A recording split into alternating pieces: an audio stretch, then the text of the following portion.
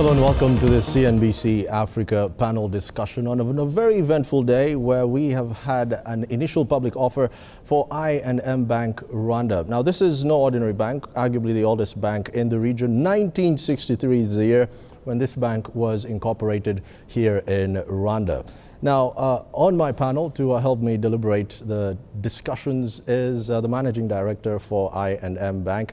That's, of course, Mr. Robin uh, Bairstow. Uh, we also do have uh, Celestine Rwabukumba, who is the CEO of the Rwanda Stock Exchange, and Mr. Robert Mathu, who is executive director at the Capital Markets Authority, Rwanda. Gentlemen, pleasure to have you here. I'm sure you're very uh, exhausted from all the deliberations and the happenings leading up to this uh, eventful day. Uh, but let me start with Mr. Robert Mathu. This, this is uh, something that uh, has been in the pipeline for quite a while. Uh, just walk me through uh, some of the the, the, the, the, processes that have led us to uh, this day as it is. Um, to begin with, of course, the decision to, um, to go public uh, for the bank um, was made as soon as the key shareholders agreed, about 15 months ago. Yeah. Yeah. However, um, then we went through the procurement process as a government, getting the transaction advisors on board. And uh, eventually they worked together very closely with the management of the bank and they were able to produce um, a draft uh, disclosure document, which came to us last week on Thursday. And by Saturday, by at 9.30 in the evening, we had given an approval. Uh, I want to uh, bring Celestine into uh, the picture here. Uh, for the longest time, Celestine, we've seen a lot of institutional dominance when it comes to uh, the stock exchange here in Rwanda. Who's to say that uh, this time around, after this IPO, we won't see a lot of dominance from institutional traders and the appetite on the Rwanda Stock Exchange? Well, you know, that, that's the nature of markets. Institutionals are always the ones who dominate. You know, there's no two ways around it. So they have the most money and uh, they do the analysis. They are the ones who get involved, especially when you are starting a market like this. Uh, and uh, the retail investors also come uh, in more numbers, but uh, in small, smaller denominations. So, but you expect still to see more institutional investors uh, dominating the market because they are the ones who have the bigger pockets. Right. Uh, of course, Robin, the number in everyone's uh, tongue right now is uh, 90 francs per share. Uh, just walk us through how we arrived at uh, this uh, magic number. Without getting into the, the technical details, I think there's a, to, it's a reflection on the past performance, um, the, the prospect, the, our prospect in the future. Um, we have our projections reflect that we'll continue growing. We, our CAGR over the last over the last five years has been um, almost just, uh, just south of 20%. Uh, um, we're looking to grow at that rate in the future, so we'll double our book uh, within the next five years. Um, the state of the, the Rwandan financial sector, which is extremely stable, I think we've, we haven't suffered the contagion of the, the rest of East, uh, of East Africa. Um, the banks are well capitalized, um, and all of that form part of the uh, of the the stock exchange. As a matter of fact, uh, the stock exchange of the the valuation. I think what was uh, what was interesting that we had one of the one of the brokers in the market provide us with their interpretation of where our valuation should be, and without that the, the, that being shared, um, the eventual valuation came out almost spot on in terms of where they believed we we should be, which is a testament that we we priced right. Obviously there's, uh, one has to look at uh, obtaining the best value for the government as they, as they exit the organization. And at the same time, we need to make sure that the, the, the share hits the market at the right level and there's, uh, it creates the right, correct levels of appetite. Right. Uh, Robert, timing is everything, and uh, you made this very clear at your presentation earlier on today. Uh, let's talk about the numbers. We have seen uh, uh, the market cap, global market cap, grow up only, uh, go up only 4%. this is as per 2016, 36% for a drop, rather, when it comes to newly listed companies. this is globally. Is this the time for us to actually be seeing new listings? And we, shouldn't we holding, be holding into much of our capital and, and our revenues? Well, I think to the contrary for me, um, the, the drop in commodity prices, which drives our economies, has reached, uh, is now flat with, uh, with um, signs of, of recovery. But there are some specific areas. I mean, look at oil. Oil has already recovered in price. 55 uh, exactly. I mean, yeah. from 30. If you look at uh, price of uh, gold, um, and then um, which other commodities? I mean, Gold is at a three-month high now. Yes. Yeah. And uh, although the case for gold may be slightly different, but we have other minerals that uh, Africa exports. I mean, look at uh, what we have even here, I mean, in this region. Tin Uh, prices up? Yes, uh, 10% already recovery. So uh, with those signs, the timing is now. Again, if you wait, you may never catch the wave. So this is, to me, this is uh, the right timing. And also remember that um uh, the other thing also uh, happening is that because of the performance last year, um, I believe that uh, asset managers and uh, international portfolio investors must be hunting for opportunities uh, from the recovery. And as the minister said, those who come early, they make more. Uh, Ce- Celestine and uh, Robin, I want to uh, pick your brain on this particular one. Uh, we have seen I&M invest particularly in uh, government securities. Uh, we're talking earlier and we're, we're seeing 33 billion in 2016 put particularly on bonds as opposed to treasury bills. I don't know where this leaves you, Celestine, as the CEO of the Rwanda Stock Exchange. Well, I think um, you know when they say bonds, you know, the, it also increased, i- i- includes all debt instruments. I think that's what they are saying. They talked about uh, government paper, and I'm sure the bank is among the people who invest in the government government paper from all maturity. Most likely, they are involved in the T-bills, and they are also involved in the longer-term maturity bonds. So, as a bank, because in, on the balance sheet of a bank, you need to invest in near in cash or near cash, as per regulations or prudential regulations of the central bank. So, uh, for us, actually, they, they, they are a good customer because they are participating in those government pap- uh, the, the government paper, which means more activity on the stock exchange in the debt market or income uh, market segment. So, for me, I think it's a, it's a welcome idea. No, it's a, it was a strategic decision that the, that the bank took uh, to take advantage of yields. Um, we also wanted to uh, commence uh, trading. Um, this is a, a young market, um, and we wanted to try and stimulate the, the market to an extent.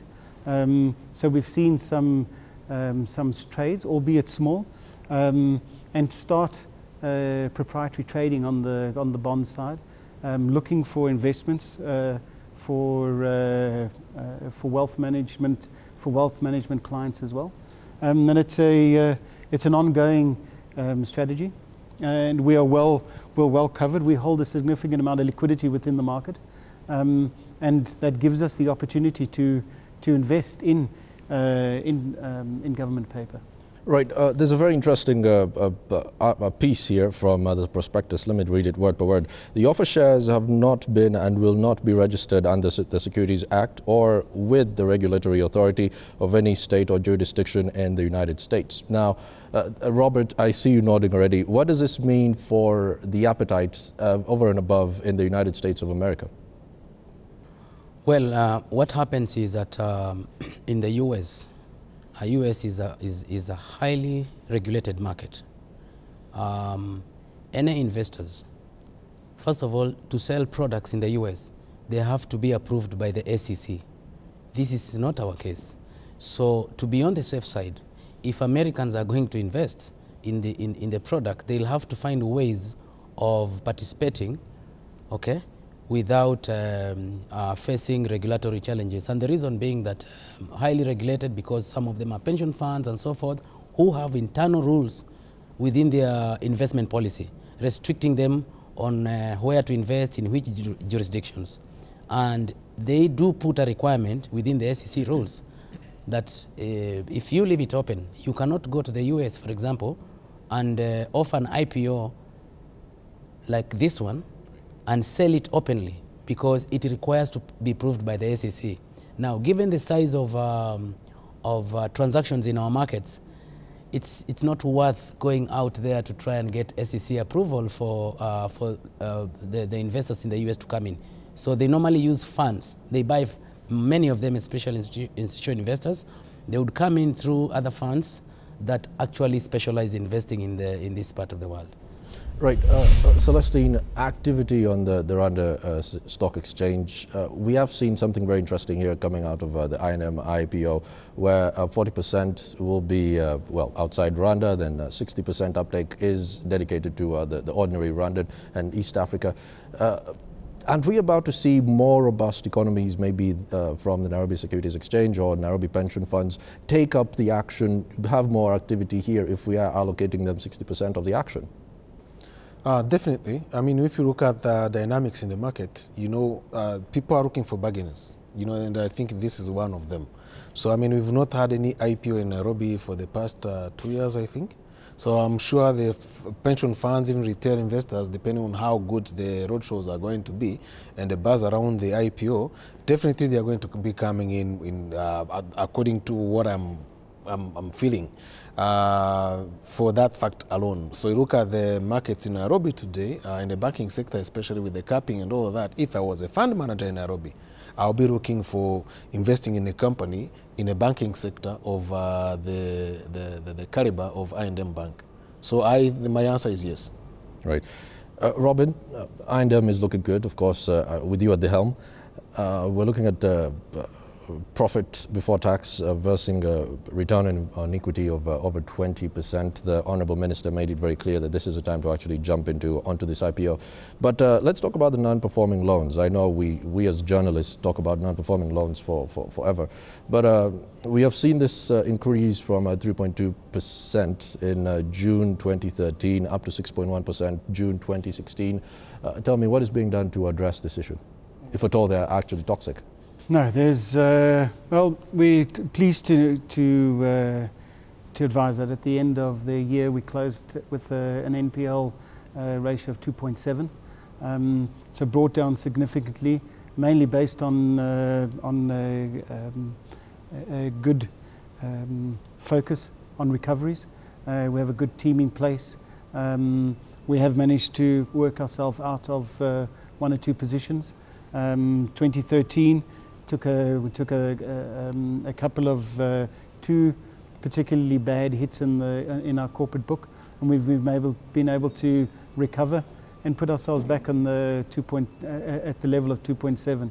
The bank came off an extreme high seven or eight years ago, uh, where we had to take a fundamental view in terms of products and offer, and we'd had a good run up until 2015. Uh, unfortunately, two, uh, two accounts uh, took us by surprise.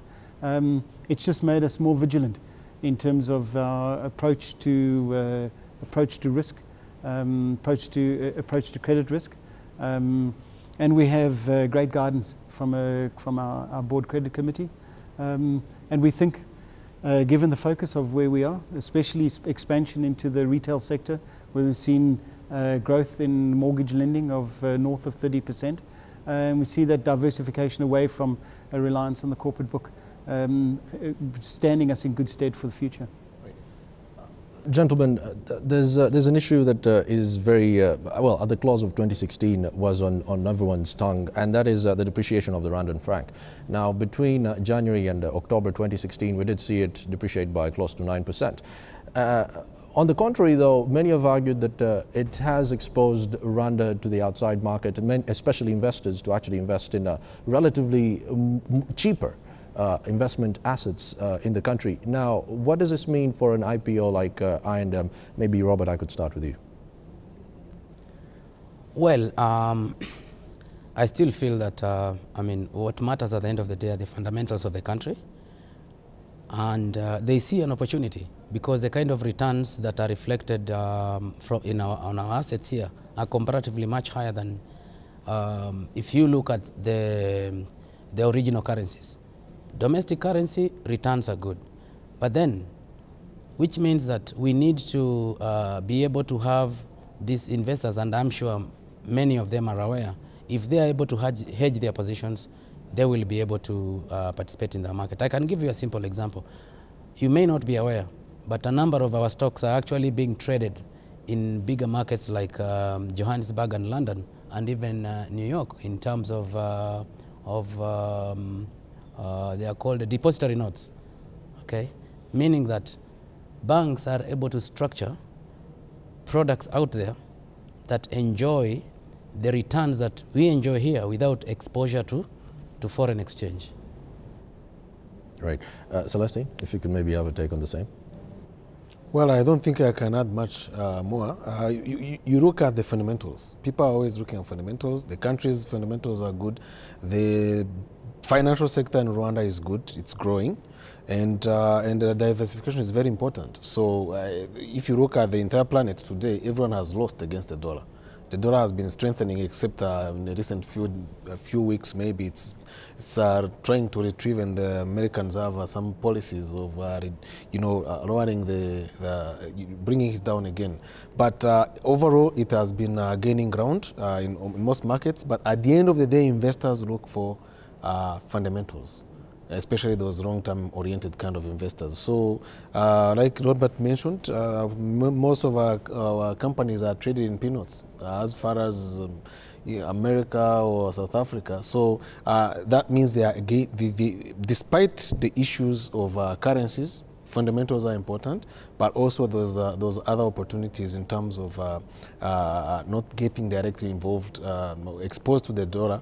They can not to the Rwanda franc. They, they they are still enjoying that benefit. But again, it all based on the fundamentals, and the fundamentals are right and of course the investor confidence. Uh, I want to uh, bring you in here, Robert, uh, on the issue of uh, the employees. Now, there's uh, going through your prospectus again. Uh, something very interesting struck me that close to 0.5% is actually being allotted to the current employees of I&M Bank. could you just walk me through how this is going to be dispersed and the allotment? Okay, so there's there's two two issues at play here. One is as part of the offer for sale, you have government is actually um, said that they will allocate shares to the staff of the bank, which we, they will then given a priority in terms of the, the allotment. Um, and that's for uh, staff members to take advantage um, of, the, of the, the offer for sale. Over and above that, we've made a, uh, an ESOP scheme available um, to, for the staff, and that's to uh, create a, uh, an opportunity for investing in the, in the company at the same time.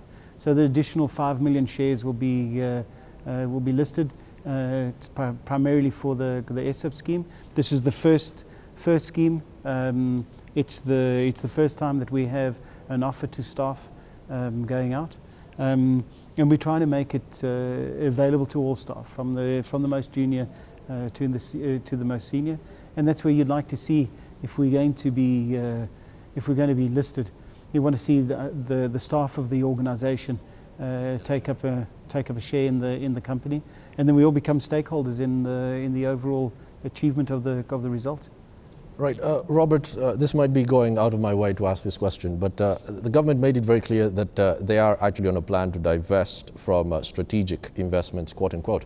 Uh, we have seen I&M Bank close to 19.1% of the shares divesting out of it. Uh, tell me, are there any uh, proposals on the table, on your crossing your table right now on the same maybe? Um, yeah, prospects are there. We have a number of companies, but as I told you as a regulator, um, I, I wouldn't be able to say it's this company until I have received an application from a company or until a statement is done by the issuer themselves or the government.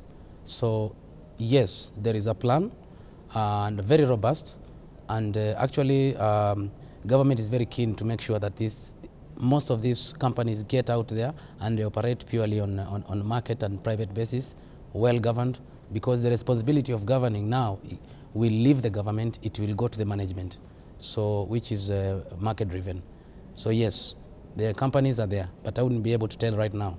But as the minister said, um, let's let's let's let's let's let's close this one first and then we'll discuss others.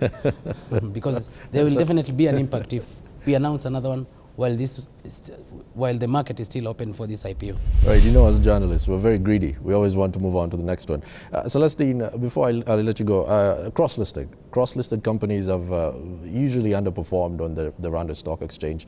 Uh, what can we do to make sure that uh, there's more robust and more appetite when it comes to cross-listed companies, especially the likes of Uchumi that are not particularly having a presence here? Well, I think you have said it rightly. Um, you know, uh, companies like Uchumi, first of all, they, mark, they must get the house in order. So they've had issues in the past, uh, but they, they, they, are restructuring and, and uh, the market will be waiting. Even in Nairobi, they are not that active right now, which is where the main listing is. So as for the others, uh, the, the banks we have listed here and the other companies which are listed, they, are, they, they come here um, cross-listing or dual listing. Most of the time, it's not, actually all the time, it's by introduction. So these companies are there, they are mature, they are already trading where they are trading from the, as a main listing. And they come for different reasons. Okay, so now to get them to trade here, you would need to, uh, of course, you know, to, to do more public uh, awareness. And our technology is allowing that. Uh, we are settling them the same way we settle the local companies. But uh, now we have to move a step further to link the central depositories and, then the other larger integration of the, the, the East African uh, uh, markets so that, you know, the, the whole, the, the, the, the entire market become in sync. However, you know, it, it, goes in line with the level of development also of the market. Even the local companies are not traded enough. So we need to, to get uh, enough critical mass of local domestic investors. That is for the same goes for the institu local institutional investors, same goes for the, the retailers especially. Because, uh, you know, they are the ones who buy and sell most of the time. Uh, you know, they, they, are the ones who, who, who are more active, you know, uh, in, in, these markets when they develop. So uh, it's, it's uh, we need to develop the local market, you know, the, the investor base mainly and the public awareness. I mean, with the 15,000 accounts, uh, it's not really, it, it's not like you're going to cut the cake. So we need to be doing more alongside public education and marketing and uh, increasing that uh, investor base. Right. Uh, finally, Robin, uh, again going through the prospectus, a number that actually struck me is uh, on, in Musanze. Apparently, uh, contrary to what uh, Celestine is saying, going digital and investing more on that space, uh, you are looking at an investment in Musanze that is more brick and mortar. now, would one argue that this is the time for you to go completely digital as, as opposed to going brick and mortar, which is something that we have seen in the 20th century? Okay, from a from a, a distribution strategy with uh, within the bank, we have to follow where the market is, as well. And uh, uh, Rwanda is an extremely uh, safe and secure um, country uh, where people feel comfortable carrying cash around. There's been a lot of investment across the banking sector um, in uh, in um, in digital distribution. Um, we've seen credit card. Um, uh, credit card issuance, plastic issuance has been uh, phenomenal uh, from, a, from a growth point of view uh, ac across the sector. Um, and it's an area where we all, obviously, it's a lot, from a delivery perspective, it's a lot cheaper to deliver digitally than it is to deliver through brick and mortar. But we have to serve both parts of the, both part of the markets. We have to, uh, uh where we are at the moment, we need to be able to assist our customers in terms of um, being able to take the cash and, uh, and, and deliver at the same time. Um, as far as branch, branch expansion goes, we won't, uh, we've been a bit reticent in terms of expanding. We'll upgrade. Um, we've, uh, we've rolled out a new livery, which you would see in our three, uh, our three new branches, Remera, Kigali Heights and uh, Sheikh Center. We have a new livery that we're rolling out um, some an area where we haven't invested in for, for quite some time. So we're looking to the look and feel. We want a, a nice, uh, comfortable environment for our, for our customers to enjoy when they're in the bank. And at the same time, $4 million in a new core banking system will allow us to elevate our, uh, our product offering uh, within the digital space. And that includes agency banking, which we look to, looking to roll out um, later, in, uh, later in this year. Um, up, uh, upscaling our, uh, our mobile banking platform, uh, our electronic banking platform, where we've led the, led the market. But we have to still serve that, that heavy um, requirement for, uh, for cash within the, within the market. Right. Uh, gentlemen, before I let you go, maybe uh, some final remarks, starting with you, Robert. Well, I think I must say that it's exciting times for, um, for our capital markets and um, especially for, um, for Rwanda because uh, it's clear that um, we have been uh, struggling as a region, sub-Saharan Africa, to make our capital markets relevant to our economies because of the size and proportion of the growth that is driven by the capital market. Um, given the global events now, there's a clear message that um, our domestic economies have got to mobilize domestic resources to be able to move forward. And capital market will be able to deliver that. And uh, with this IPO um, of I&M, I believe it's very timely. And our message out there is uh, we've already developed extremely efficient methods of processing IPOs uh, in, in, in, Rwanda. Right. Uh, Celestine? Well, for me, that's the bottom line. It's a new product. Uh, it, it's going to definitely add activity on the stock exchange. But having said that, I think it's the right time to be coming to the market uh, for a, a, new IPO. Uh, the, the environment is ripe. Uh, the soft infrastructure is ready and is very, very conducive. Uh, hard infrastructure also at the same time we are developing it. Uh, so it's it's that time. You know, we are this uh, IPO is coming at the time where we are launching our own capital market master plan for the country, which has um, a lot to say on what's going to happen in the next 10 years. So I think what we've been waiting for uh, in the past uh, few years we've been in existence, uh, I think we are ready to, to get to the next level. So a lot more is in store. Uh, it's not only an IPO, we are also looking at different new products which are going to be coming to the market. Diversification will be paramount. You are hearing banks talking about uh, also thinking about trading in the debt market. We are welcoming all the banks. Actually, we are discussing with the banks already on how we can uh, put our hands together and the central bank to develop more products uh, and uh, becoming uh, members of our fraternity. I think over and above the fact that the the, the bank is in really good shape. We've posted uh, impressive sets, uh, set of results. It's a great time for investing. Um, this is an excellent market that welcomes investors. It's a stable, well-controlled um, market. Uh, our financial services sector is liquid and profitable across the sector. Um, growth has been good, albeit a little bit slow in the um, in 2016. We haven't uh, uh, felt the contagion of the, the rest of East Africa. We haven't seen the devaluation.